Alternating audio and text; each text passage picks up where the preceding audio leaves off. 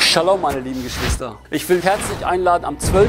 Mai nach Köln zu kommen, zum Bahnhofsvorplatz. Dort wollen wir Jesus Christus bezeugen. Sei dabei, wir werden dort in verschiedenen Zelten zusammenkommen. Viele Gemeinden werden sich dort vorstellen und auch werden wir dort auf einer Bühne Loblieder hören, Predigten hören, Kurzbotschaft auf der Straße hören, wie Menschen von diesem lebendigen Glauben von Jesus Christus ergriffen und überwältigt worden sind. Sei dabei, mache dich auf und werde leben. Ich bin entschieden folgen Jesus. Denn für mich ist Christus das Leben und das Sterben ein Gewinn. Ja, Shalom, meine liebe Schwester, ich möchte dich einladen, ganz herzlich. die an den Herrn Jesus Christus glauben als lebendigen Gott. Am 12. Mai findet in Köln eine Großevangelisation statt. Wir gehen gemeinsam auf die Straße. Gemeinsam das Wort Gottes verteilen und verkündigen. damit noch mehr Menschen den Herrn Jesus kennenlernen. Meine lieben Schwestern, Kommt am 12. Mai nach Köln. fühlt euch ermutigt. Ich würde mich freuen, dich persönlich kennenzulernen. dass wir am 12.05. alle zusammenkommen und den Herrn Jesus Christus bezeugen, dass er der alleinige und wahrhaftige Gott ist, dass er das ewige Leben ist, dass er der ist, der gekommen ist, um das Verlorene zu suchen und zu erretten. Lasst uns den Menschen das sagen.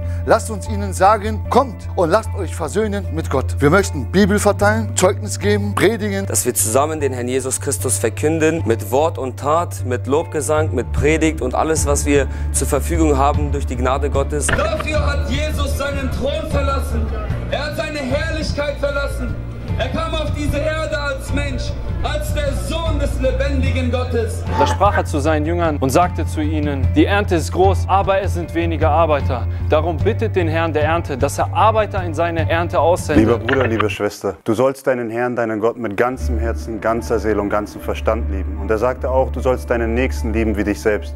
Man muss sich die Frage stellen, wie kann man den Nächsten lieben wie sich selbst, wenn man den Nächsten nicht von dem Herrn Jesus Christus erzählt? Komme mit uns, so wie der Herr Jesus Christus sagt, geht hinaus in die ganze Welt und predigt der ganzen Schöpfung das Evangelium. Denn jetzt ist die Zeit. Wir wissen nicht, ob es einen Morgen gibt. Wir wissen nicht, wie viel Zeit den Menschen noch bleibt, Buße zu tun. Der Herr Jesus Christus hat keine Gemeindemitglieder gemacht. Der Herr Jesus Christus hat Jünger gemacht. Und wir alle sind Jünger mit ein und demselben Auftrag. Ein lebendiges Zeugnis für den lebendigen Gott zu sein. Wir dürfen nicht, liebe Geschwister, lauwarm werden. Jesus Christus lebt.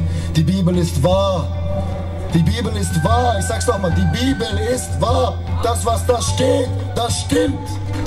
Es ist alles wahr. Und wenn die Bibel sagt, dass der Herr Jesus Christus diese Welt richten wird, dann wird das passieren.